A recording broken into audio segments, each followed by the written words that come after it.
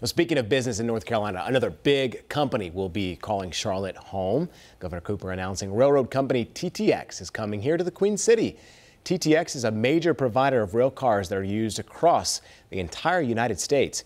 Leaders say this new HQ the company is going to invest in will have more than $14 million in the area and generate that, creating 150 jobs, new ones right here in Mecklenburg County.